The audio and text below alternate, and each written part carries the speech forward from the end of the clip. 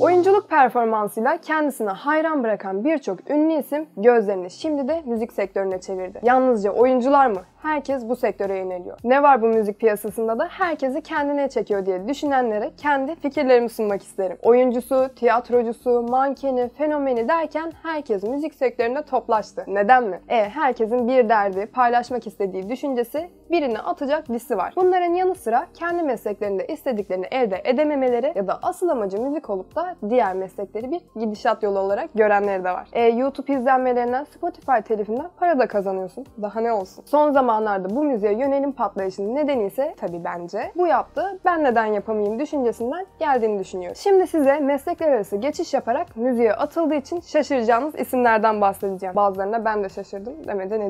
Şarkıcı Emrah'la ya da hepimizin anımsayacağı adıyla Küçük Emrah'la başlayalım. Yeşilçam'ın hüznü nereden geliyor derseniz bu bakışlardan geliyor. Yani geliyordu demeliyiz. Kendisi müzik sektörüne zamanda hepimizi ağlamaktan yıkıp geçtiği gibi geçti. Bu isimden bahsetmesek olmaz. Bir dönem podyumun tozunu attırmış pop şarkıcımız Demet Akalın da müzik sektörüne sonradan dahil olan isimlerden. Genelde yazdıklarını anlamıyoruz. Evet ama olsun. O da derdini şarkılarıyla anlatıyor. Biraz da yakın zamanda müziğe atılan isimlere bakalım. Oğuzhan Koç. Eski sevgilileri disleriyle Domuz Gribi melodisini lügatımıza katsa da sektörde başarılı isimlerden olduğunu reddedemeyiz. Domuz gribini bir şekilde atlattık. Ama atlatamadığımız ve bazen dayanamadığımız şeyler de oldu.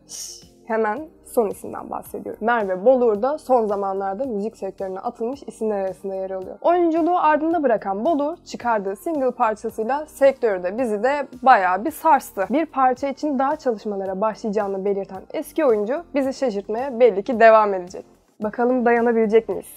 Her bölümde nedendir dediğimiz birçok konunun kendimce açıklamasıyla karşınızda olacağım. Yorumlara nedendir dediğiniz konuları yazmayı unutmayın. Bir sonraki bölüme kadar görüşmek üzere, hoşçakalın.